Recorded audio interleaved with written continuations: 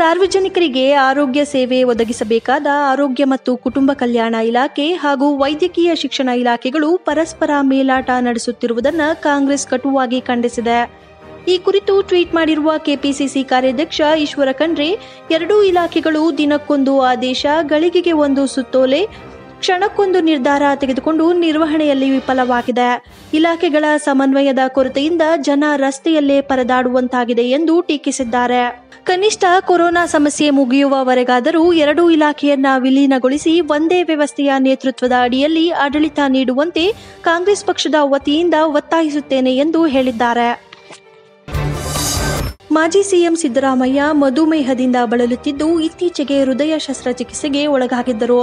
ರಾಜ್ಯದಲ್ಲಿ corona virus ಸೋಂಕು ಹೆಚ್ಚುತ್ತಿರುವ ಹಿನ್ನೆಲೆಯಲ್ಲಿ ಜನರ ಸಂಪರ್ಕದಿಂದ ದೂರವಿರಲು ಸಿದ್ದರಾಮಯ್ಯ ಅವರು ಮೈಸೂರು ಸಮೀಪವಿರುವ ಫಾರ್ಮ್ ಹೌಸ್ಗೆ ತೆರಳಿದ್ದಾರೆ. ತಮ್ಮ ಪುತ್ರ ಡಾಕ್ಟರ್ ಯತೀಂದ್ರ ಅವರ ಸಲಹೆ ಮೇರೆಗೆ ಸಾರ್ವಜನಿಕರ ಸಂಪರ್ಕದಿಂದ ದೂರ ಉಳಿದಿದ್ದು, ಆದರೆ ಸೋಷಿಯಲ್ ಮೀಡಿಯಾದಲ್ಲಿ ಸಿದ್ದರಾಮಯ್ಯ ಸಕ್ರಿಯರಾಗಿದ್ದಾರೆ. ಕೊರೋನಾ ವಿರುದ್ಧ ಹೋರಾಡಲು ಬೆಂಗಳೂರು ಮತ್ತು ರಾಜ್ಯದ ಇತರ ಭಾಗಗಳಲ್ಲಿ ಕೈಗೊಂಡ ಕ್ರಮಗಳನ್ನು ತಿಳಿಯಲು ಸಂಬಂಧಪಟ್ಟ ಅಧಿಕಾರಿಗಳಲ್ಲಿ ಮಾಹಿತಿ ಪಡೆಯುತ್ತಿದ್ದಾರೆ. ಬೆಳಗಿನ ಜಾವ ವಾಕಿಂಗ್ನಿಂದ ದಿನ ಆರಂಭಿಸುವ ಸಿದ್ದರಾಮಯ್ಯ ತಮ್ಮ ಹತ್ತು ಎಕರೆ ವಿಸ್ತೀರ್ಣವಿರುವ ಫಾರ್ಮ್ ಹೌಸ್ನಲ್ಲಿ ಯೋಗ ಮತ್ತು ಉಸಿರಾಟದ ವ್ಯಾಯಾಮ ಮಾಡುತ್ತಾರೆ. ಸಿದ್ದರಾಮಯ್ಯ ಹೋಮ್ ಕ್ವಾರಂಟೈನ್ನಲ್ಲಿಲ್ಲ, ಅವರು ಆರೋಗ್ಯವಾಗಿದ್ದಾರೆ ಎಂದು ಸಿದ್ದರಾಮಯ್ಯ ಅವರ ಸೆಕ್ರೆಟರಿ ರಾಮಯ್ಯ ತಿಳಿಸಿದ್ದಾರೆ.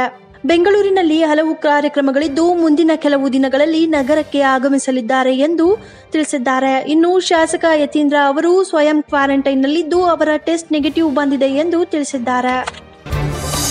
ಕಾಂಗ್ರೆಸ್ ಶಾಸಕರೊಬ್ಬರಿಗೆ ಕೊರೋನಾ ಸೋಂಕು ತಗುಲಿರೋದು ದೃಢವಾದ ಹಿನ್ನೆಲೆ ಇಂದು ಕೆಪಿಸಿಸಿ ಕಚೇರಿಯ ಸಿಬ್ಬಂದಿಗೆ ವೈದ್ಯರಿಂದ ಪರೀಕ್ಷೆ ನಡೆದಿದೆ. ಸೋಂಕಿತ ಶಾಸಕ ಕೆಪಿಸಿಸಿ ಕಚೇರಿಗೆ ಹಲವು ಬಾರಿ ಭೇಟಿ ನೀಡಿದ್ದರು. ಜೊತೆಗೆ ಡಿಕೆ ಶಿವಕುಮಾರ್ ಅವರ ಪದಗ್ರಹಣ ಕಾರ್ಯಕ್ರಮದಲ್ಲಿ ಸಕ್ರಿಯವಾಗಿ ಕೆಲಸ ಮಾಡಿದ್ದರು.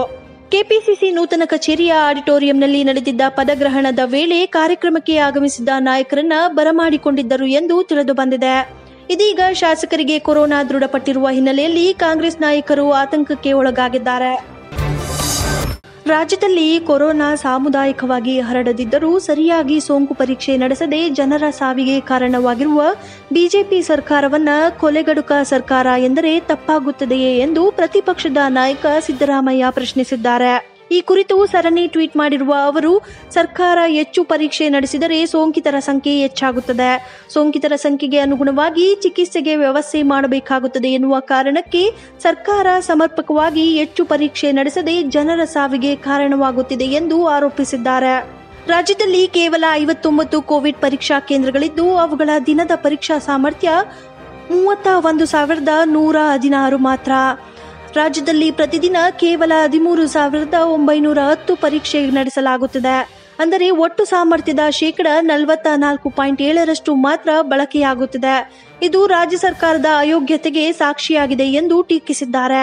ಕೊರೋನಾ ನಿಯಂತ್ರಣಕ್ಕೆ ಸೋಂಕು ಪರೀಕ್ಷೆ ಒಂದೇ ಏಕೈಕ ಮಾರ್ಗ ಎಂದು ವಿಶ್ವದಾದ್ಯಂತ ವೈದ್ಯರು ಹೇಳುತ್ತಲೇ ಇದ್ದಾರೆ. ಕೊರೋನಾ ಓಡಿಸಲು ಜಾಗಟೆ ಬಾರಿಸಿದ ಅಯೋಗ್ಯ ಸರ್ಕಾರಕ್ಕೆ ಸೋಂಕು ಪರೀಕ್ಷೆಯನ್ನ ಸರಿಯಾಗಿ ನಡೆಸಬೇಕೆಂದು ಮಾತ್ರ ಗೊತ್ತಾಗುತ್ತಿಲ್ಲ ಎಂದು ಸಿದ್ದರಾಮಯ್ಯ ವ್ಯಂಗ್ಯದ ಮಾತುಗಳನ್ನಾಡಿದ್ದಾರೆ. ಬೆಂಗಳೂರು ನಗರದಲ್ಲಿ ಕೊರೋನಾ ಸೋಂಕು ದಿನೇ ದಿನೇ ಹೆಚ್ಚಾಗುತ್ತಿದೆ. ಈ ಹಿನ್ನೆಲೆ ಕೊರೋನಾ ಉಸ್ತುವಾರಿ ಸಂಬಂಧ ಜವಾಬ್ದಾರಿ ಹೊತ್ತಿರುವ ಕಂದಾಯ ಸಚಿವ ಆರ್ ಅಶೋಕ್ ಸಂಘ ಪರಿವಾರದ ನಾಯಕರ ಮೊರೆ ಹೋಗಿದ್ದಾರೆ. ಇಂದು ಕೇಶವ ಕೃಪಾಗೆ ಭೇಟಿ ಕೊಟ್ಟು ನಾಯಕರನ್ನ ಭೇಟಿ ಮಾಡಿದ್ದು ಬೂತ್ ಮಟ್ಟದ ಕಾರ್ಯಕರ್ತರನ್ನ ಬಳಸಿಕೊಂಡು ಕೊರೋನಾ ವೈರಸ್ ನಿಯಂತ್ರಿಸಲು ಸಂಘ ಪರಿವಾರದ ನಾಯಕರ ಬಳಿ ಆರ್ ಅಶೋಕ್ ಮನವಿ ಮಾಡಿದ್ದಾರೆ ಎಂದು ತಿಳಿದು ಬಂದಿದೆ. ಯೂಟ್ಯೂಬ್ ಅಲ್ಲಿ ಸಬ್ಸ್ಕ್ರೈಬ್ ಮಾಡಿ ಶೇರ್ ಮಾಡಿ ಲೈಕ್ ಮಾಡಿ ಕಮೆಂಟ್ ಮಾಡಿ. ಪ್ಲೇ ಆಪ್ನ ಡೌನ್ಲೋಡ್ ಮಾಡಿ. ಎಂಜಾಯ್ ಮಾಡಿ. ಎಲ್ರಿಗೂ ಒಳ್ಳೆದಾಗಿ ಜೈ ಹಿಂದ್ ಜೈ ಭುವನೇಶ್ವರ್.